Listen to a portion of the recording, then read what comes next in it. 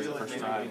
Just feedback from, from today's opportunity you got? Yeah, I was happy I got to get in there at the end, and it was really fun being out there with the guys and um, you know just playing.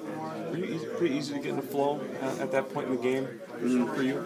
Yeah, it wasn't like I got thrown in um, at a tie game or anything. We kind of had a good lead, so it was a little less pressure than um, if it were a different different scenario. But um, yeah, it was just fun to be out there.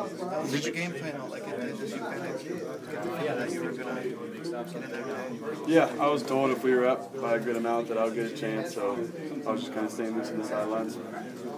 I really like how you guys were able to move the ball efficiently as soon as you got in? When you had a touchdown pass, you had a couple guys scoring touchdown runs. I mean, the offense didn't really miss a beat with you in there. That's going to make you feel pretty good. Yeah, it was good. I mean, we had Troy Fumagalli and um, and uh, Quintez Cephus, they both saved me on a couple passes. They had some diving catches, but um, the O line was doing real well when I was in, and we moved the ball well.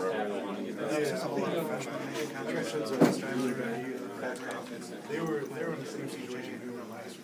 Are you pretty excited about that? I know your couples are in different areas, but Yeah, it's awesome to see those guys play. They got a lot of talent.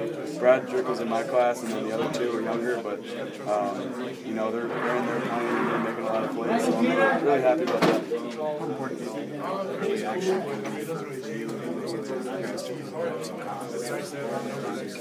Yeah, I think it's good. As far as Quintez and AJ, they, they played a little bit in the LSU game, so they um, have more experience than me going into this game, and it's good that they get to be out there and playing.